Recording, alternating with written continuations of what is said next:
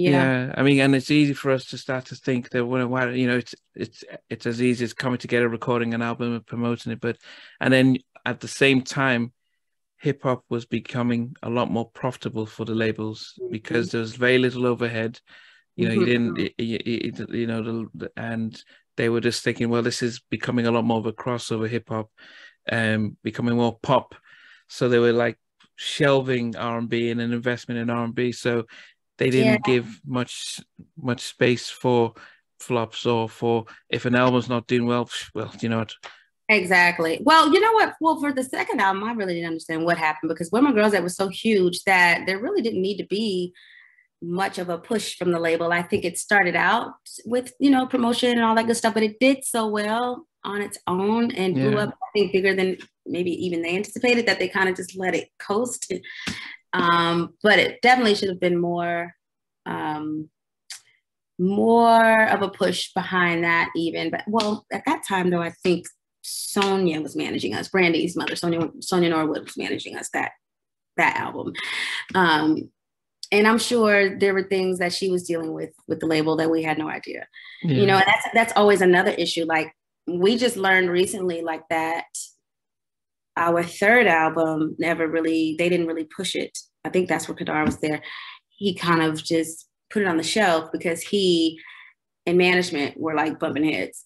Mm. So who cares about your lives, girls? yeah like my ego and your man's ego are conflicting and I don't like him, so I'm about to put your album on the shelf and screw you. yeah, yeah. Like that's that's what happened with the, the last album. It's like, damn, word, like wow, you know. It's just like, and they have the power to do that. That's what's yeah. so messed up. Yeah. You know, and you spend all this time and energy and you know you you you you do all of this um, you put all this work in into this project you know we recorded 16 songs you know we released star with pharrell and did a video for it that didn't really do anything. It kind of plummeted because i guess uh, he had already decided in his mind yeah. he meaning Kedar, that like he was i guess already over it. So wouldn't allow us to do another video for i still love you which is uh, the second song pharrell had uh, produced for us which ended up being huge on its own without even being a single.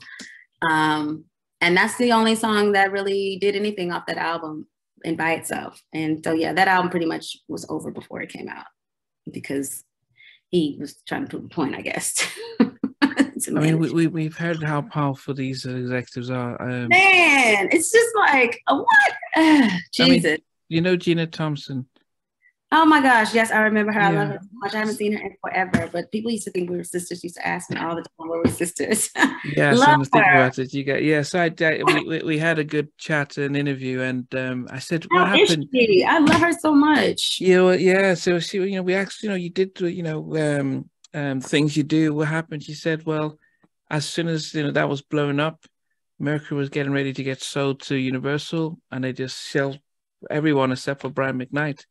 So she yep, goes, okay, she goes with, with, Missy, signs her on, on her label, mm-hmm. and um, she brings that, she does a big album, and then, you know, Elektra just shelves the album, and and it was heartbroken, you know. That's I never she, knew that story. Wow. Yeah. So it's, it's the politics of it all. Do you know what I mean? It's so many yeah. politics most of which we're not privy to and or have any control of and it, it you know next thing you know it's it's beyond your control and it's over. And then a lot of times your fans look at you like, ah, yeah, why did you do this or why did you? Do that? How did you? It's like I didn't have any control. I didn't yeah. even know. you know, couldn't do it. Yeah, didn't do anything about it. Your hands were tied. So you know, it is what it is. But you know, fast forward to now, I'm grateful that at least um, we can still, you know, hop on tours and do shows and perform and um, you know get to give the fans a little bit of nostalgia and it's really cool when you know they get excited when they hear um, all the songs. And even like I still love you even though that wasn't a single I, I I'm so grateful that there are those 702 fans that that stuck around and stuck by us long enough to realize like hey I don't know what happened to this album but I, I know this song was, was was was really awesome and they supported it. And you know because of them um it's it, it it's a song that's got you know some pretty cool notoriety, even though, like I said, it was never even released formally. So I just um, saw recently though that you are you guys are touring because were you you just recently we'll so you there. Yes we're coming to you. You got to come to the show friend. Yeah yeah no yeah i've got For uh, halloween i think like a, halloween block october 30th no but yeah. i was yeah so yeah yeah yeah yeah yeah i've spoken yeah so that yeah i've pretty much interviewed half the half the lineup I'm so sure, right so yeah so i'm definitely gonna be there but no but this past weekend where you guys in oh we were just in north carolina north yeah. carolina okay so you know it's fun so I mean, how's it now? The three of you on stage and and and, and performing. I mean, just uh, oh, it's much better. We had to take time apart from each other. We didn't we didn't speak or perform together for like whew, years, probably almost a decade. Wow. And um, we, I think I had my son in 2009. I think we were we were unfortunately their sister, one of the girls who was in the group before me, Irish, passed away in 2008. I hadn't spoken to them since 2003, which was when the Star album came out. So we hadn't talked in like five years. I learned about their sister. Of course, um, I was gonna go and pay my respects and be by their side. Of course, no matter what we went through, I'm definitely never gonna be that person. Mm. Um, they asked, they even asked me to sing. You know, um, you know, I, I, will say we had a lot of good times. It wasn't all bad times. We had mm-hmm. probably way more good than bad. So they're family to me. I spent most of half my life with them, you yeah. know? So um, I went to do that in 2008 and then I had my son in 2009. And, um, you know, they reached out to me then because I think I kind of, I guess, you know, I probably told them like what had happened. Yeah. And so they reached out to me then. And then after that, we just, everybody lived their own lives. I was being a mom. Misha was a wife, is a wife and has children. Irish, same, has a son. And so we just all live our own lives. Next thing you know, it's 2016. We hadn't talked in years. um, I reached out in 2016. I went to see them in Vegas because I hadn't seen them. And we sat and talked and just kind of flirted with the idea of maybe getting back together, maybe, you know, doing some business together again. Not sure, but maybe. Everybody was on board. And then 2017, we had decided to go ahead and um, reunite and we did the Soul Train Awards carpet, red carpet. It was in Vegas. We just wanted to just say hi and show people that we were back together. That was 2017. By I think the end of it, 17 into 18, 19, we, we were on the road and then COVID happened. But we toured, we got back with uh, we did shows with some of everybody.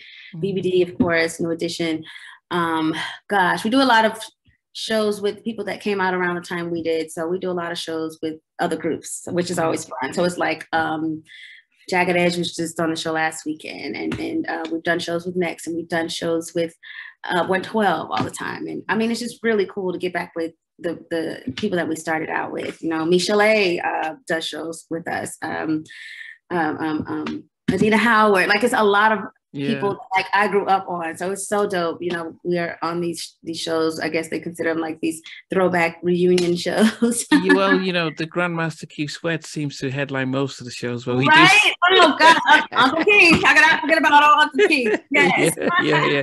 So it's a, you know, it's always a blessing though. Like I, I, I really enjoy it. Um, we run into everybody in uh, H Town. I mean, yeah, yes, uh, yeah.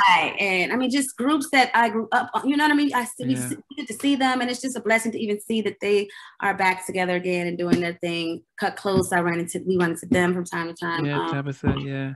Yes, yes, yes, yes. Tabitha's crazy. I love her. And, uh, but else, just like everybody, Brownstone was on the bill last week too. Like, yeah. So,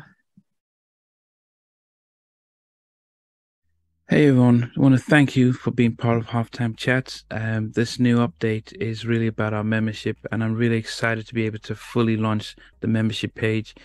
There will be things like full interviews from day one. As soon as the interview drops, you get access to it without any ads on it. Um, there'll be some exclusive member only videos that will just be some behind the scenes stuff and some other things that we will never be broadcast. Um, for some members, you can be able to get actually two interviews because we do have I do have a backlog of almost two or th- seven or eight interviews that I don't even know when I'm going to be able to broadcast them. So you're able to get at least some of those up front.